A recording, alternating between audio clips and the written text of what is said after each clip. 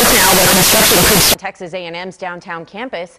The Texas A&M Board of Regents makes that decision today, and it is the first urban campus for the university, and it continues to grow. Our Nick Starling joins us live in Fort Worth with the latest on this project. Nick, it's pretty exciting. It is, Brooke. Yeah, good morning. This will be a transformative project for downtown Fort Worth. This is right next to the convention center. The buildings will be built on these parking lots and this School of Law right behind me. Now, the official name of this campus is going to be called Texas A&M Fort Worth, but some are calling it Aggieland North. Here are the latest renderings. This will be a $150 million law and education complex.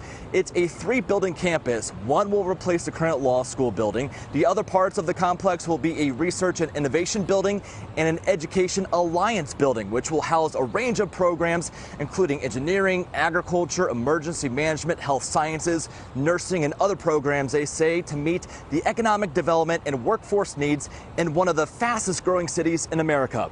Now, this complex will serve as the anchor for a broader effort by the city and county to create a tech and research innovation district on the southeast side of downtown. They say will spur growth. Now, we've spoken to some business owners around here who are excited to see this project take off, as they say there'll be more foot traffic in this area, serving more potential customers. Now, the completion of this project is scheduled to be complete at 2025. The Board of Regents meet at 1:30 this afternoon. Live in Fort Worth, Nick Starling, CBS News, Texas.